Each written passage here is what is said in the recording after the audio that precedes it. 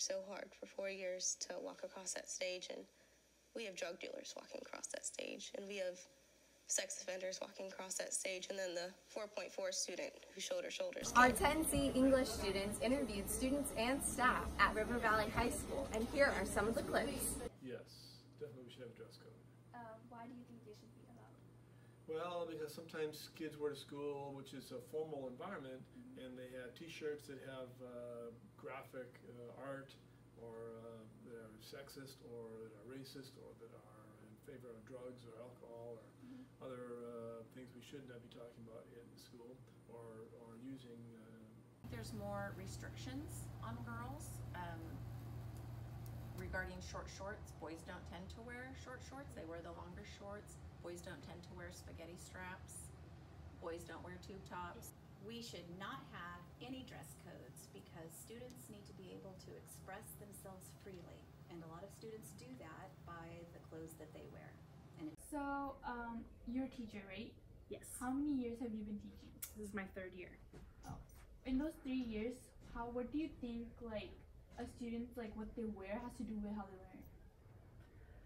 Um, I don't think it affects how they learn. Um, something might be distracting, but I don't think it'll distract their learning.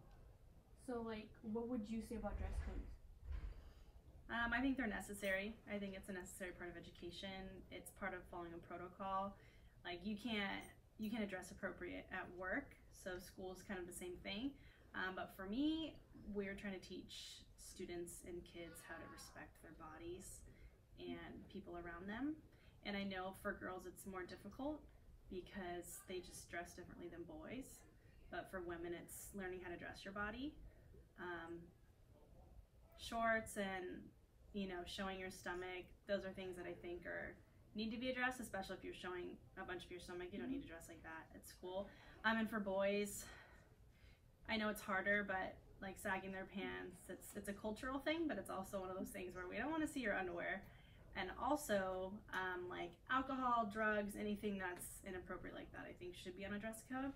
Um, but it's one of those things where if it makes me uncomfortable i think it needs to be addressed. So like, you're basically saying that they can wear what they want as long as it's not like distracting or doesn't like go beyond the community guidelines. Yeah, if it's for something to be, I mean, inappropriate, then yeah, it shouldn't be worn at school.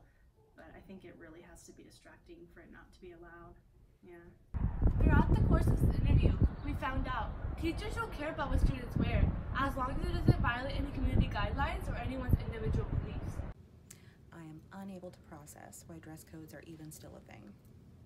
Dress codes, but why? Students who are at River Valley High School have very opinionated thoughts about dress codes. If they had to describe dress code in one word, this is what they had to say.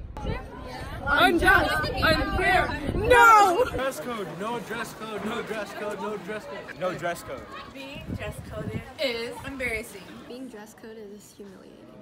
Humiliation. No. No dress code! This is embarrassing. This is unfair. Dress codes are unfair. Dress codes Are a form of discrimination. Less strict dress code. No dress code. I think this is sexist. This is not fair. No dress codes because they are sexist. No dress code.